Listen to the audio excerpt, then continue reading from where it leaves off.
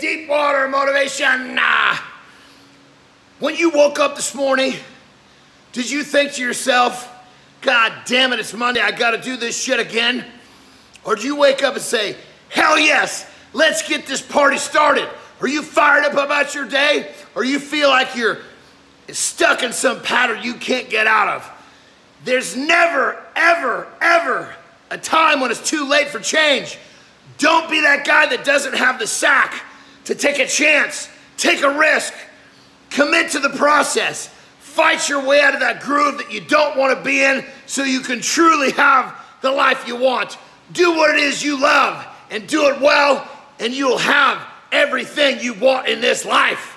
Jon Andersen with a little more deep water.